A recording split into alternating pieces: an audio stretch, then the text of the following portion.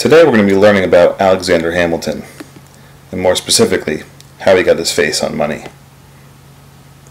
People back in Alexander Hamilton's time, they were pretty angry. You might ask them why. Well, first of all, the economy wasn't very good.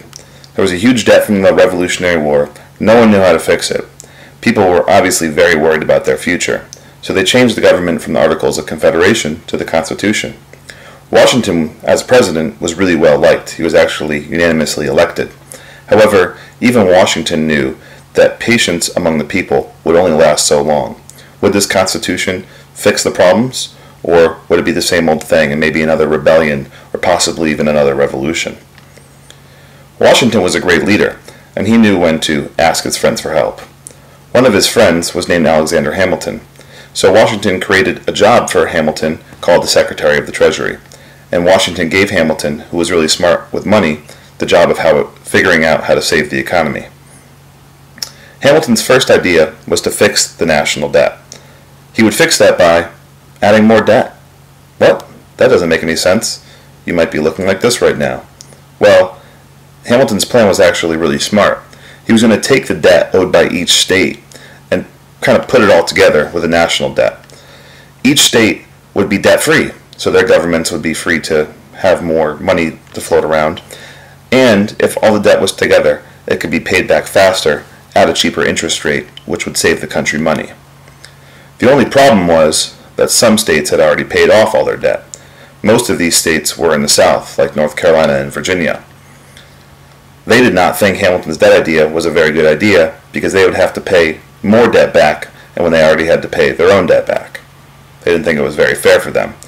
Of course, the two sides would eventually reach a compromise, um, Hamilton's plan caused a lot of arguing between the North and the South for actually about six months, but eventually the two sides made a deal.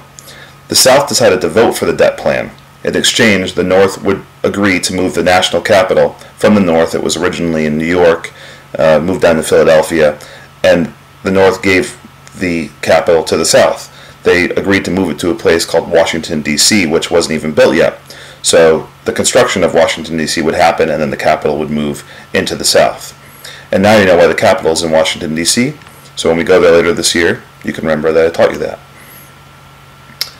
The plan that Hamilton proposed with the debt worked out great. Now that America had decided to pay the debt back and they had a clear plan, other countries now had faith in America and they invested in American businesses because they knew that they would be getting their money back. There were still more problems though. Hamilton thought the country needed a national bank. This bank would be a place that would be a bank just for the government, and it would be a place where they could lend and borrow money and keep their money safe. The only problem was the Constitution. It didn't say anywhere in the Constitution that the government could make its own bank. However, um, there was a part of the Constitution that said that Congress could pass any laws that were necessary and proper, and Hamilton urged Congress to use that part of the Constitution to create the bank.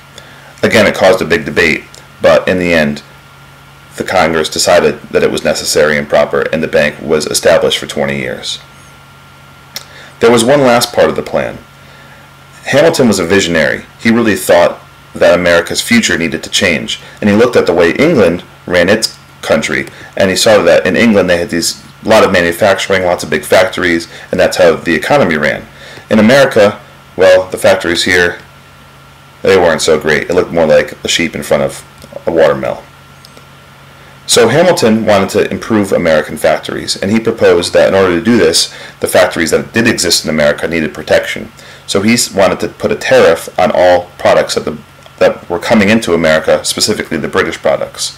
He wanted to raise taxes on these products because it would cause American products to sell better, because they wouldn't have any competition from the imports anymore. It would help factories and let them grow, and America be could become a more wealthy and powerful nation. And who wouldn't want that? Well, you might have guessed it. Again, the South. They didn't like any of Hamilton's plan. Um, led by Thomas Jefferson, the South opposed the tax on British goods.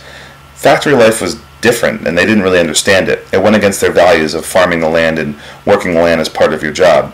There's a picture of Jefferson. He was the one that led the Southern attack against Hamilton's plan. The South also liked to buy fancy British products, so they didn't want to have to pay more for them when they were imported. The tax that Hamilton proposed never went through. It was the only part of his plan that didn't actually happen. And it started a, a real feud between the South, led by Jefferson, they would eventually call themselves the Democratic Republicans, versus the North, led by John Adams, who was a Federalist. These would be the first two political parties in America, and Hamilton's plan was one of the first things that divided the two groups. Hamilton wasn't around to see it because he died in a gun duel. Yes, back then, politicians really actually fired guns at each other. So to recap, Hamilton proposed fixing the debt problem by adding state debt to the national debt, and the South in exchange got the capital. That consolidated the debt and got it paid back quicker at a lower interest rate. Hamilton also proposed creating a national bank to lend, borrow, and store money. Was it legal? Well, maybe not, and that started a big debate between the two sides, but it did pass. And the last part of Hamilton's plan, which was the tariff, was blocked by the South, and the two opinions between the North and South really turned to those two political parties, the Federalists and Democratic Republicans, later on. We'll learn about that in a few weeks.